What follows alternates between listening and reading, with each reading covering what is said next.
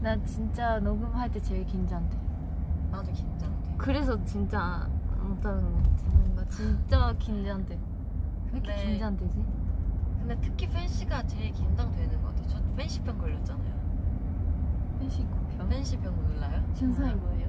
내가 말했잖아. 팬씨라는 말만 듣거나 팬씨 무대를 아파가지고 올라가기? 직전만 배가 아파진다.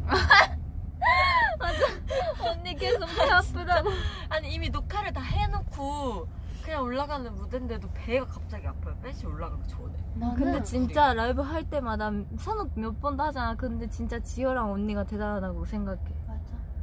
왜? 아 너무 라이브인데 막 너무 높은데 저렇게 하는 게 진짜 몇 번도 하는 게 대단하다고 생각해. 그냥 너무 아쉬워요. 그 사- 사비를 부르는 내 목소리는 내가 아닌 것 같아. 그리고. 컨디션만 더 좋았으면 더 잘할 수 있는데.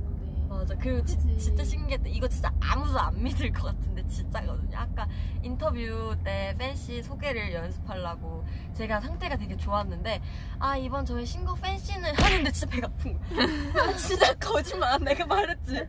진짜로 팬씨 말하기만 해도 배가 아팠어요. 할 말이 있어. 저 제 슬리퍼 자랑해도?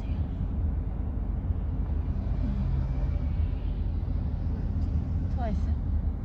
아, 나는 트와이스 슬리퍼를 신고 다녀.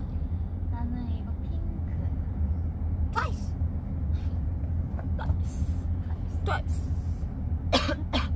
자, 나랑 한국 옷을 차가 되게 없다. 할까? 아 짜증나. 하나, 둘, 셋. 예. 예. 근데 색깔이요 달라요. 뭐 베이지고 저 화이트. 아 나 놀러 가고 싶어. 아, 호구 먹고. 싶어. 노래하고 싶어? 하나, 둘, 셋, 넷. 그만해 구름색은 트로피카에 예. 태양 빨간 빛이 두볼 같아. Tell me I'm the only one, babe. Fancy you, fancy you, fancy you. Twice and just 달콤해 넌 장미 같다.